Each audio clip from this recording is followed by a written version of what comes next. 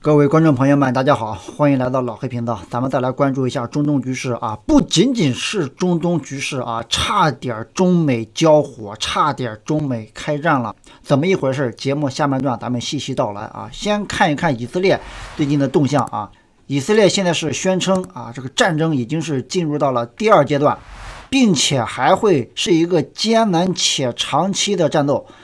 以色列的内塔尼亚胡在电视中说啊，将会有更多的以色列地面部队进入他所称的邪恶据点及加沙地带，并表示以军指挥官已经部署在整个加沙地带。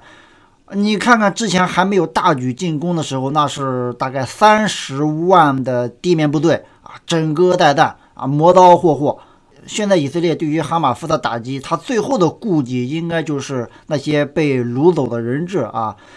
内塔尼亚胡还会见了被哈马斯扣留的那些人质啊，他们的家属去会见了，家属对加沙地带越演越烈的袭击很担心，但是内塔尼亚胡说，解救人质是军方作战核心目标的一部分，说是这么一说，但是子弹不长眼，真正打红眼了，人质是否安全呢？这里还另外一说啊。现在以色列再次在加沙地区上面不断的去撒传单，警告当地居民啊，你现在这个区域是战场了，你们继续得往南移，继续得往南撤。我对此的观点啊，像加沙地区人口特别稠密，有两百多万人，加沙地带它的地方特别的狭小，你再压缩压缩，让他们往南移往南移，南部又能够容纳多少人？就是说，以色列你是不是不要让他们往南走，而是在加沙地带附近？边境啊，修建大规模的难民营或者说是居民区，你们加沙的人民不用往南挤，过来难民营，这边有水、有食物、有学校、有医院、有儿童那些游乐设施，这是我所希望看到的。而且美国也援助不少钱呢，这些钱如果说都用在民生领域，这是能够解决问题的啊。关于这个加沙难民的问题啊，关于这场战争啊。很多人都在劝架，其实问题说简单一点，就是别人打架，你能不能劝得住？这是什么呀？这是联合国针对于巴以冲突啊，在投票，是不是要让他们停手？你看这里绿色部分全部都是投呃赞成票，支持停火，你们别打了呀。然后呢，投那些投反对票的都是红色的，在这里大家可以明显的看到，大部分都是绿色，小部分呢是红色，嗯。虽然说联合国在投票，我个人认为没卵用，真的没卵用啊！张家村和李家屯啊，咱们可以继续来续写这么一个故事啊。这两个村张三李四他们都战死了，他们的儿子孙子持续的在仇杀，持续的在打架。我老王家我贩卖军火，我贩卖鸡蛋母鸡啊，然后呢，我从中中饱私囊，我赚的很多。这个时候十里八村的啊，什么老朱家、老赵家啊，都在劝别打了呀，别打了呀。你劝有用吗？你看到别人打架，虽然说劝架的多，但是真正能劝住架的能有几个？这道理很简单，不用费力去讨论国家大事，逻辑很简单。不仅这个战争停不下来，而且美国还是加大了对以色列的援助啊。这张图呢，也是网友给我截图，这是五十个美国的军机航班啊，这是大手笔啊，运输机。全部都在往以色列去运送物资，这就让我想到了当初的诺曼底登陆啊！诺曼底登陆呢是大西洋在法国的海岸那边啊开始登陆，现在呢是中东地区地中海沿岸，美国的飞机运输物资也在大规模的援助，这是干嘛呀？这是准备打一场大战呐！内塔尼亚胡都说了，战争已经进入第二阶段了。美国的运输机源源不断的运送物资，四千名海军陆战队，然后幺零幺空降师。再加上轰炸叙利亚的据点，然后北部黎巴嫩，这都被卷进来了呀！这战争是准备要扩大了，真的，各位观众朋友们，这不是在开玩笑了，战争的规模真的是要扩大了。那你要说这个战火仅仅停留在中东地区吗？对中国人没有影响吗？是，如果说是在中东地区打仗的话，中国呢，它受到的影响比较少，顶多就是打一个代理人战争，中国。给伊朗支持，俄罗斯给叙利亚支持，这是一个代理人战争。但是这个战火你不知道哪一天就烧到中国这边来了。就在前几天呀，在南海地区，中国跟美国就是差一点点就干起来了。美国的印太司令部二十六号表示，一架中国战斗机差点在南中国海上空与一架美国的 B 五二轰炸机相撞。险些酿成事故，仅一步之遥。二十四日夜间，一架中国战斗机试图拦截美国的飞机，这名中国飞行员在驾驶 G11 喷气机时表现出了比较糟糕的飞行技术。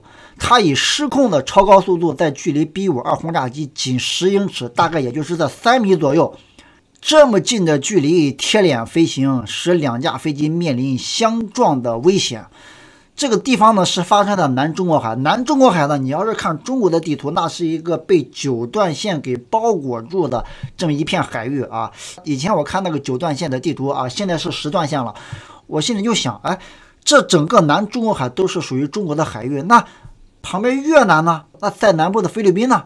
怎么他们的海域就被压缩在本土附近？怎么中国的海域就可以延伸到他们的国家附近呢？这点我就不明白啊！现在咱们站在一个国际的视角去看问题，所谓九段线内南中国海的这么一个领域啊，那是自说自话。你中国说这片海域是中国海，但是别的国家不买账，人家美国的飞机就可以在上面去飞来飞去，你不服你就来撞我。因为从二零二一年以来呀，中美两国之间发生了一百八十多次不安全、不专业和其他的行为。哎，这是一百八十多次，这什么意思呀？你可不可以理解为美国的飞机、美国的军舰也是不断的穿梭所谓的南中国海呢？那有句话是“犯我中华者，虽远必诛”。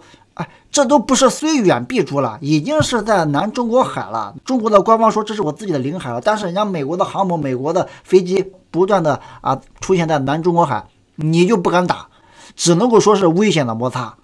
光上一周一个星期，中国的飞机对美国的飞机啊做出一些比较危险的胁迫性行为就有十五起。那你想想，前几天中国的 G 幺幺跟美国的 B 五二贴脸飞行就三米。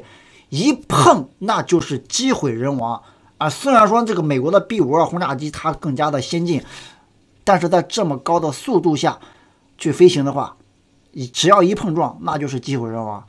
那到时候要不要扯皮？要不要打仗？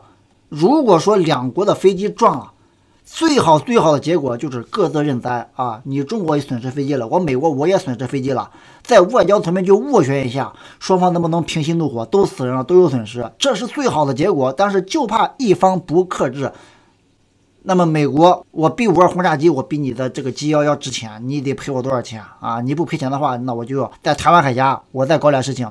前一段时间是你中国的九三核潜艇是自己被铁链给勾住了啊，下一次可能还会再出现类似事情。那如果说双方都不克制的话，在台湾海峡地区有可能会掀起啊第三战场还是第四战场？你从这个三战角度来说的话，这个战场已经不是第二个、第三个了，可能是第三个、第四个、第五个了。你数一数，现在地球上正在打仗的国家有几个？而且现在你再看看中国的政局，现在跟几年前就不一样了。